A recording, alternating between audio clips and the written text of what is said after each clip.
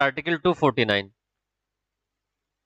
that it is the power of the Rajya Sabha that Rajya Sabha can pass the resolution to authorize the parliament to make law on the state list.